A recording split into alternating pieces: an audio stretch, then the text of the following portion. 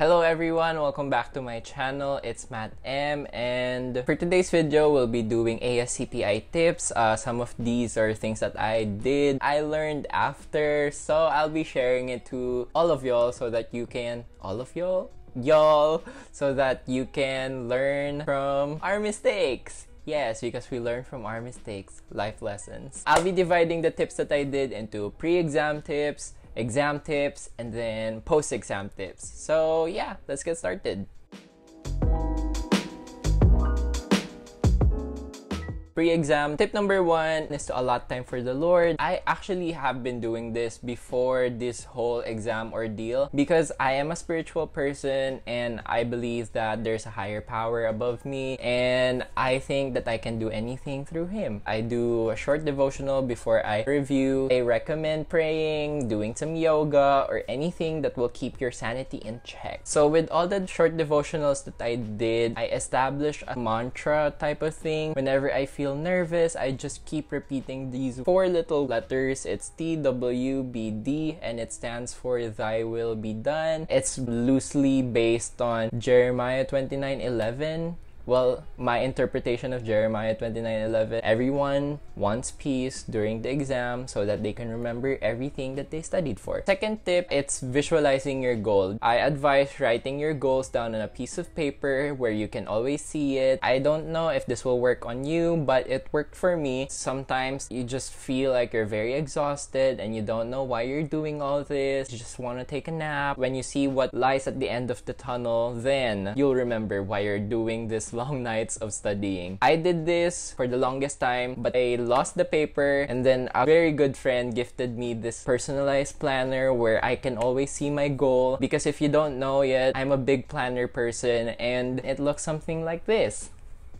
it says my name. These two goals represents what I wanted to accomplish. The first one is to be an RMT, which I did, and then after that, I took the ASCPI exam. Seeing this sparks a very good memory that you can accomplish your goals, and then seeing it on paper makes it real. The whole 2019 was just focused on a lot of reviewing, a lot of burning the midnight oil, a lot of sunog kilay memories. So 2019 was a good year.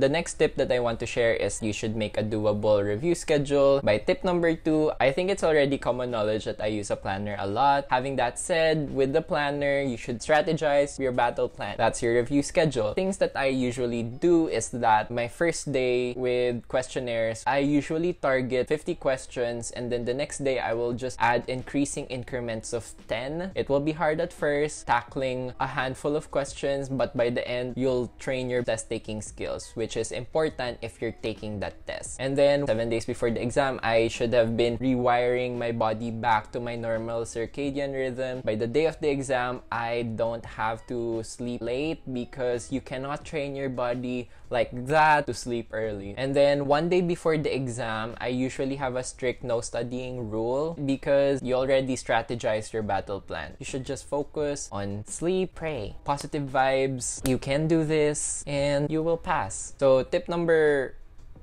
four, reward small victories no matter how small, no matter how big whether you top that quiz on your review center or whether you finish 50 questions in a day, you should reward those victories because it will keep you motivated to study more and study again for the next day. As an example, I am a big fries and milk tea guy. Whenever I do pass or whenever I finish my goal for the day, I always reward myself with some fries and some milk tea. And oh my gosh, it feels feels like all your efforts are valid. And remember, everything should be kept in moderation. If you see that you are trending down into a decline, then maybe you should make a new reward strategy so that you can reach your goal. Tip number five is to check your requirements. So actually, you don't have to bring a lot for the exam. You only have to bring a valid ID. And this was my bag during the exam. This green bag. I just brought simple things. I had a water bottle because you are allowed to take breaks. I also brought gum because if you know me, I am a gum person. I also did bring a snack too. It was a granola bar. I brought my planner as I usually do. I brought uh, valid ID, which is something that they actually require you to bring. I brought my passport. I also brought a pen. I actually did bring my exam permit as well, but it is not required. But my mom was so insistent for me to bring it because it's really hard to go back and forth from my little province back to the big city. You can bring your phone and then keep it on the lockers. My phone that time was this banged up iPhone 5s. You can see why it's banged up because it kind of looks like that. that was my phone during that time. Oh my gosh, I have so many memories with this iPhone 5. Actually, before the exam, my parents were with me, but when I was taking the exam, they went back to the hotel so that they can relax. After the exam, I had to walk all the way back to the hotel, but I got lost. And luckily, I have my phone with me, so I took a grab home. so I am really bad at commute. So that's basically all the essentials that I brought during the exam. Next tip is to visit the testing site. I don't know about the Cebu testing site, but I know about the Makati testing site. So a couple of days before the test, you should practice commuting if you plan on commuting, if you plan on staying over within the Makati area, which we did. It's also nice to scout for cheap hotels that you can stay the night before the exam so that you don't have to commute because if you don't know yet, Makati traffic is really terrible. With you knowing that already, you should plan your strategy. The next tip is sleep. I cannot emphasize this enough, but I am a really anxious person. Usually the day before the exam, I find it really hard to sleep. So what I usually do is like 5 p.m., 6 p.m. ish, I usually lay in bed already. I don't usually put my phone near me, lights off completely, and then I wear an eye mask. Actually, my good friend from internship did tell me this that the rule number one before doing anything is to breathe in, breathe out, and then relax. I did not know that it would be such a mind blowing life lesson for me because I tend to stress and fuss over the little things in life. Exam day tips eat your breakfast, it's the most important meal of the day. So if you plan on taking your exam on the morning part of the day, because the only thing you should be focused about is not your urgencies but the exam. Tip number two is to do number two. How relevant.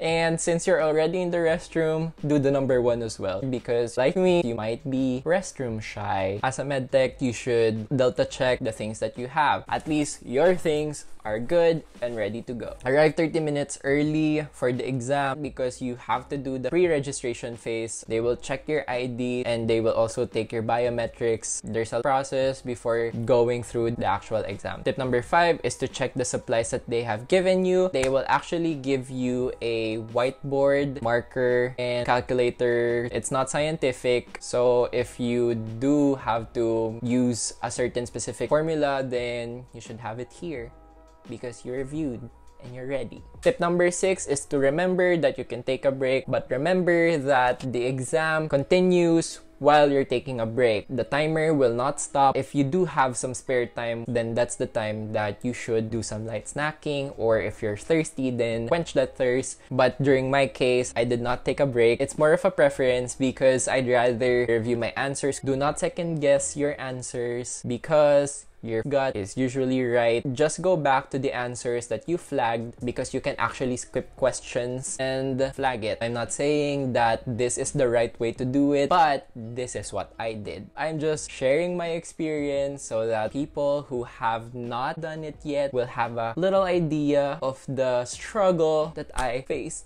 after taking the test, oh my gosh, the sun won again. I'm so sorry, everyone. Anyways, read every slide. I think I have stressed this enough from my previous videos because there is this one specific slide where it will give you a preliminary result of the exam that you just took. It will just show a pass or a fail. And if you do miss that slide, you will go through an agonizing seven-ish days before getting an actual email so that that you can view your results. So save yourself the trouble and read every slide. So if you cannot believe it, make a double take. So if you see pass, just see it again. You just passed. Then believe it. For my next tip, you should know the difference between membership and certification. Membership is renewed every single year. And certification is renewed every three years. There's a difference. I will make a separate video. This is where you have to take the CMP units. CMP units are pretty much like the CPD units that we have in the Philippines, and it's pretty much like the CE units that we have here in California. So if you don't have access to international CMP units, then ASCPI is offering their own take within the CMP units. So you can take what they have, which is fine. It's by ASCP, and you are renewing your ASCP license, and it makes sense to use their own service. I am not saying that luck isn't in your favor, but if worst comes to worst and luck isn't in your favor, then remember that you can take the exam after the 90 day period that I told you to keep in track. Basically, you can take the exam after three ish months, but I'm pretty sure you will pass because you strategize, visualize, and pray hard enough. No matter what the result of the exam is, it will not define you. The most important thing is you did your best. And remember that nothing worthwhile ever comes easy. So if you like this video, give it a thumbs up. Subscribe to my channel. It will really help me a lot. I wish you well. I rest my case.